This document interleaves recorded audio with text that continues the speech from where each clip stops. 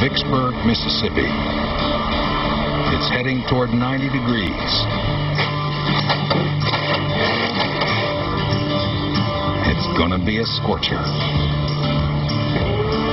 At the LeTourneau shipyard, this massive hull is the base of a new breed of oil rig.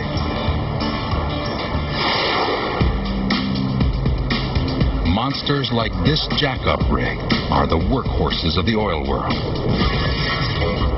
Here's how the design works. After it's dragged to a drilling site, powerful motors drive the legs down into the seafloor, then jack up the entire rig above the reach of hurricane waves. Next, the derrick slides into position and the workers begin to drill. Pumping a weighted sweep right now, so you're going to be getting a whole, whole, whole lot of traction stuff back. You might start losing a little bit of mud. If they hit oil, they'll cap the well, jack the rig down, and then tow it to its next location. And a permanent drilling platform will take over pumping the oil. This is one of LeTourneau's Gorilla class rigs. A 32,000 ton beast engineered to withstand the tortures of the North Sea.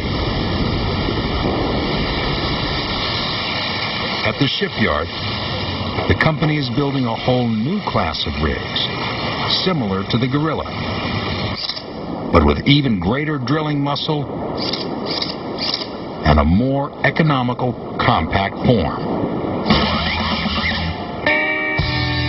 The Tarzan class rigs are designed to find deep oil in the Gulf of Mexico, where the shallow oil has already been found.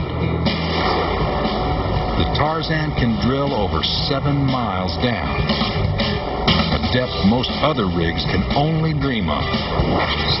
Can only dream of. They've already built one Tarzan.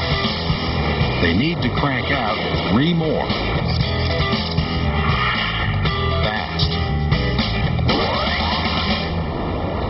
That's a huge advantage in the race for deep Gulf oil.